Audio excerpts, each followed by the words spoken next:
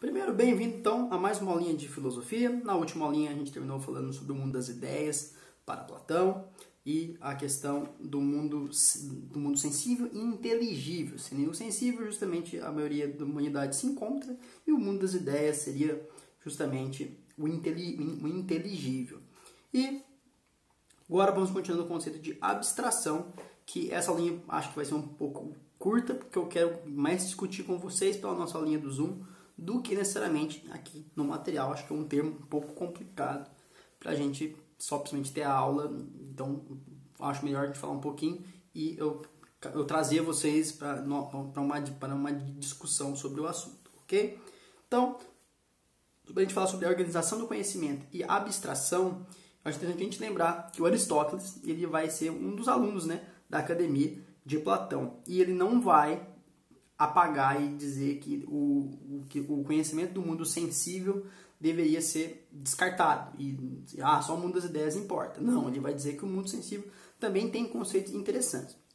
Lembrando que Aristóteles vai ser conhecido por uma parte da filosofia em que ele vai tentar aproximar a filosofia da ciência. Então ele ser conhecido por sistematizar, dividir, categorizar, diversos, inclusive diversos animais em gêneros e espécies e tudo mais. E como destaque também vai estar trazendo uma forma diferente do pensar filosófico, inclusive acerca do conhecimento que nós já falamos um pouquinho. Então, conhecimento para ele tinha três, de certa forma, três divisões. As artes, ah, tem, tem, calma que está tá incluso as artes, mas são três tipos fundamentais ah, nesse, nesse conceito: o conhecimento produtivo, né, de certa forma, produtivas, né, ciências produtivas, que é representadas pelas artes, técnicas, agricultura, tecelagem uh, e engenharia. As práticas seriam representadas pela ética, pela política, que interessavam as condutas do ser humano.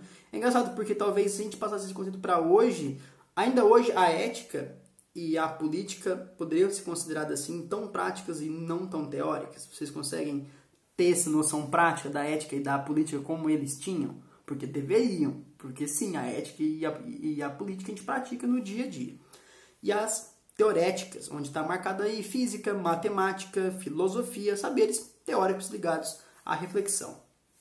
Tranquilo em relação a isso, né? eu acredito que não tem erro nessa divisão do conhecimento. E acho interessante que ele vai chamar, que é, com questão do mundo sensível, ele vai dividir algumas formas sensíveis, que também chamados de sentidos próprios assim, né?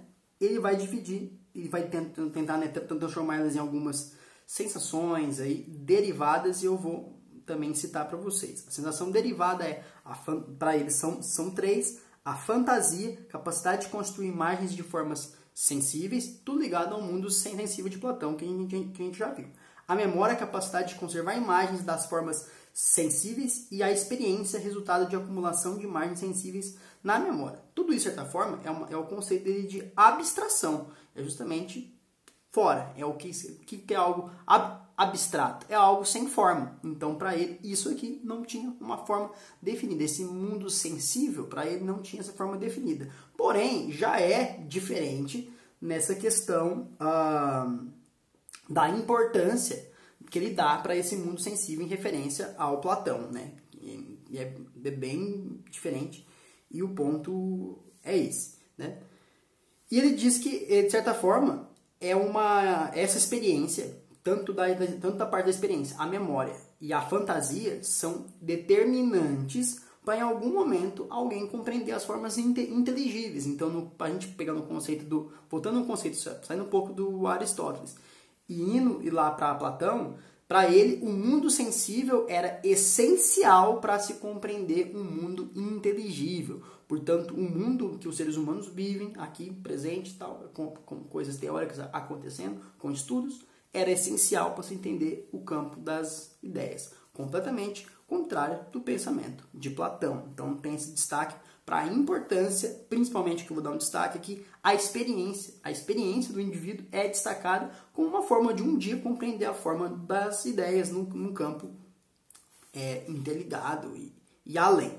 Então, isso eu acho interessante e tudo isso só podia ser percebido por meio da abstração, realizado pelo seu intelecto. Então, nesse campo da abstração, são essas três áreas, a execução delas, a experiência delas, de certa forma, base é essencial para a gente compreender um mundo inteligível, o campo das ideias.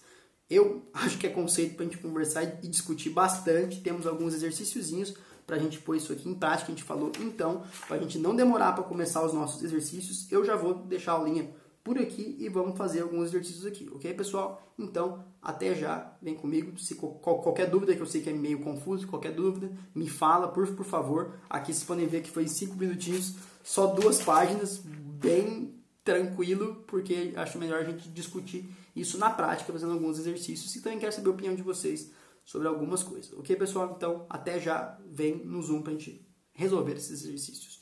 Tchau, tchau!